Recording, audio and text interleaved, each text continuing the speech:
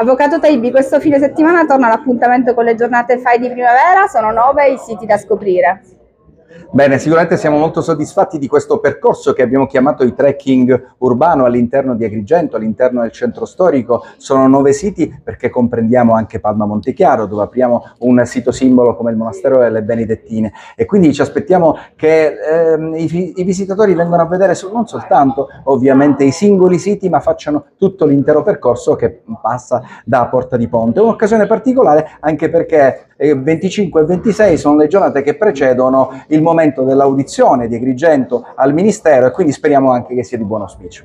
È stata una scelta quest'anno di rimanere in centro storico anche per rispettare un progetto regionale che è stato deciso a Favignana, l'ultimo convegno regionale FAI e quindi anche la delegazione di Agrigento ha aderito a questo progetto regionale che si chiama il Grand Tour in Sicilia, quindi viaggianti e viaggiatori dell'Ottocento in Sicilia.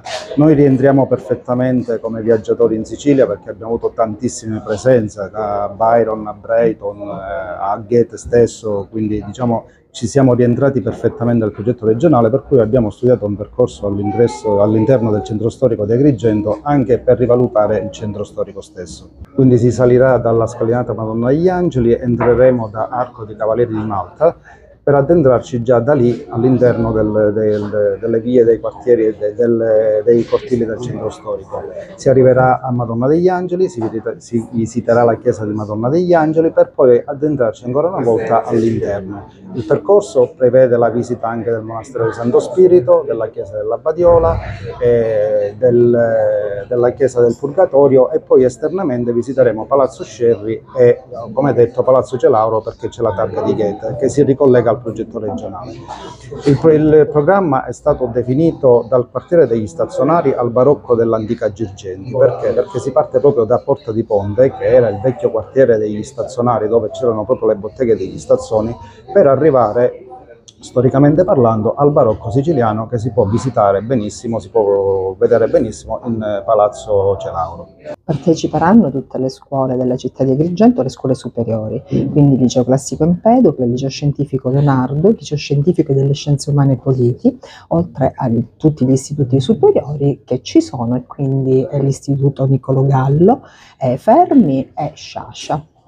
Quanti saranno i ragazzi coinvolti? I ragazzi saranno parecchi perché alcuni parteciperanno in qualità di apprendisti ciceroni, quindi saranno i ragazzi che avranno il compito di guidare tutti i visitatori alla scoperta di, dei beni appunto prescelti, ma altre classi parteciperanno comunque eh, sempre come classi amiche del FAI, ovvero saranno tutti visitatori, saranno turisti, saranno appunto coloro che potranno apprezzare comunque le bellezze eh, eh delle scelte appunto per le giornate del, di sabato e di domenica. Anche il FAI Giovani sarà presente alle giornate FAI di primavera, siamo felici, siamo orgogliosi di poter partecipare e di poter rientrare di nuovo nel comune di Agrigento, in particolar modo nel centro storico. Dopo tante edizioni, anche delle giornate FAI d'autunno che sono seguite direttamente dal FAI Giovani, siamo ritornati ad Agrigento e saremo pronti ad accoglierli tutti a braccia aperte.